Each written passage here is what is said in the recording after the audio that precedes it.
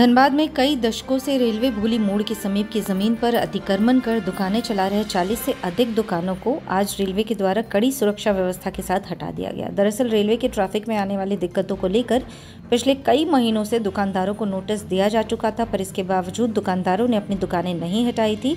Railway प्रशासन और जिला प्रशासन की मदद से दुकानों को ध्वस्त किया गया। अतिक्रमण हटाओ अभियान में रेलवे के पुलिस बल के साथ साथ धनबाद सीओ प्रशांत कुमार लायक और भोली पुलिस के साथ जिला सुरक्षा बल की भी तैनाती की गई थी। देखिए, रेलवे की ज़मीन है जिस पर आज अतिक्रमण मुक्त किया जा रहा है। मजिस्ट्रेट के रूप में हम लोग और थाना से आए हुए हमारे थाना प्रभारी भी हैं।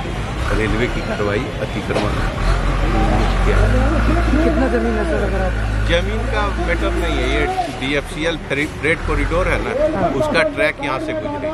तो उसमें जो भी दुकान या जो व्यक्ति रह रहे थे उसको हम लोग यहाँ से हटवा रहे इन सभी लोगों को पहले से नोटिफिकेशन दिया हुआ है। नहीं पूर्व से ये अतिक्रमण मुक्त का कार्रवाई लोग पूर्व में किए हुए। आज दंडाधिकारी के रूप में नियुक्ति थी तो जो लोग नहीं हटे हुए थे उनको हमने बैठा इसके बाद आगे की कार्रवाई और कहाँ? आज यहाँ से यही लास्ट कर देखिए वो ट्रैक जो है ना यहाँ से आप देख रहे हैं वो ब्रिज है उसके नीचे था तीस चालीस दुकानें हैं बस। तरह का हमारे रेल प्रशासन के रेल प्रशासन के आदेशानुसार हम यहाँ अतिक्रमण हटाने का काम कर रहे हैं। इस अतिक्रमण से हमारे ट्रैफ़िक रेलवे ट्रैफ़िक का भी प्रॉब्लम होता है। कितनी दुकानें सर हटाई जा रही हैं?